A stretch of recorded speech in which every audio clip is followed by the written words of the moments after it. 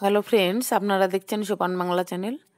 তো আজ আপনাদের সামনে তুলে ধরছি একটি গুরুত্বপূর্ণ খবর এবং তার সাথে আপনাদের একবার বলব যে এখনও যদি এই চ্যানেলটি সাবস্ক্রাইব না করে থাকেন, তো চ্যানেলটিকে আপনি সাবস্ক্রাইব করতে পারেন। কেননা এই চ্যানেলে এডুকেশনাল এবং যে জব নিউজগুলো রয়েছে, সেগুলো আপলোড করা হয়ে থাকে। এর জন্য সাবস্ক্রাইব লেখা বাটনটি ক্লিক করবেন এবং পাশে যে বেল বাটনটি চলে আসবে, সেটিও ক্লিক করবেন। যখনই কোনো নতুন শিক্ষামূলক খবর এই চ্যানেলে আপলোড করা হবে, আপনার কাছে কিন্তু নোটিফিকেশন হিসেবে পৌঁছে যাবে। এবং সঙ্গে বলব, যদি আপনাদের এই চ্যানেলটি ভালো লাগে, তো অবশ্যই শেয়ার এবং লাইক করবেন। এনসিইটির নতুন নিয়মে টেট পরীক্ষায় বসার জন্য যোগ্যতা কেমন লাগবে সেটি এক নজরে দেখে নেওয়া যাক। প্রথমেই রয়েছে নবম থেকে দশম শ্রেণির ক্ষেত্রে, অর্থাৎ সেকেন্ডারি লেভেল টেটের ক্ষেত্রে। লাগবে ব্যাচেলার অফ এডুকেশন অর্থাৎ B Ed with pedagogy of two school subject অথবা four year integrated BA B Ed BSc B Ed B Ed BSc Ed or an equivalent program with pedagogy of two school subject নবম দশমের ক্ষেত্রে। এরপরে রয়েছে একাদশ থেকে দ্বাদশ শ্রেণির ক্ষেত্রে, অর্থাৎ সিনিয়র সেকেন্ডারি লেভেল টেটের ক্ষেত্রে লাগবে master degree in a school subject অথবা bachelor of education with pedagogy of the concert school subject.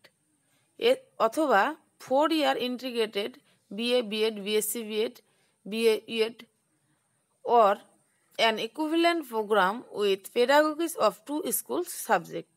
এটি একাদশ দ্বাদশ শ্রেণির ক্ষেত্রে। এছাড়াও যদি এমএসসি বিএড অর ইকুইভ্যালেন্ট থাকে, তাহলে তারা আবেদনযোগ্য। এরপরে রয়েছে সিলেবাস ও নম্বর বিভাজন। অর্থাৎ নবম ও দশম শ্রেণির জন্য যে সিলেবাস রয়েছে, হচ্ছে মাধ্যমিক স্তরে শিক্ষণ শিক্ষণ সংক্রান্ত চল্লিশ নম্বরের প্রশ্ন থাকবে। প্রথম ভাষা থাকবে কুড়ি, দ্বিতীয় ভাষা থেকে কুড়ি নম্বর শিক্ষা সংক্রান্ত মূল্যায়ন বিষয়ে থাকবে কুড়ি নম্বর। অর্থাৎ এখানে কিন্তু ছকটি দেওয়া রয়েছে teaching learning at the secondary stage চল্লিশ ফার্স্ট ল্যাঙ্গুয়েজ কুড়ি সেকেন্ড ল্যাঙ্গুয়েজ কুড়ি এডুকেশনাল অ্যাসেসমেন্ট কুড়ি। Content and pedagogy of school subject one চল্লিশ, অর্থাৎ চব্বিশ যোগ ষোলো। এবং content of pedagogies of school subject two চল্লিশ অর্থাৎ চব্বিশ যোগ ষোলো। টোটাল একশো আশি নম্বরের। নবম দশম টেটের নম্বর বিভাজন। তো অবশ্যই আপনারা দেখে নিলেন। যে কোনো দুটি বিষয়ের উপর পেডাগগির প্রশ্ন ও বিষয় ভিত্তিক প্রশ্ন থাকবে মোট আশিটি আশি নম্বরের। বিজ্ঞান বিভাগের ক্ষেত্রে মোট চারটি বিষয় থাকবে যথা গণিত, পদার্থবিদ্যা, জীববিদ্যা ও রসায়ন। এই চারটির মধ্যে আপনাকে যে কোনো দুটি পছন্দ করে নিতে হবে। এবং কলা বিভাগের ক্ষেত্রে চারটি বিষয় হলো বাংলা, ইংরেজি, ইতিহাস, ভূগোল।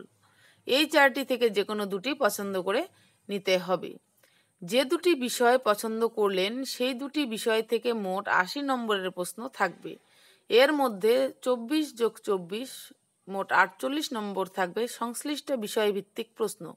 এবং বাকি ষোলো যোগ ষোলো অর্থাৎ বত্রিশ নম্বর থাকবে ওই দুইটি বিষয়ের পেডাগগি সংক্রান্ত প্রশ্ন। এরপর রয়েছে একাদশ ও দ্বাদশ শ্রেণির জন্য। উচ্চ মাধ্যমিক স্তরের শিক্ষণ শিক্ষণ সংক্রান্ত পঞ্চাশ নম্বর। প্রথম ভাষায় কুড়ি, দ্বিতীয় ভাষা থেকে কুড়ি।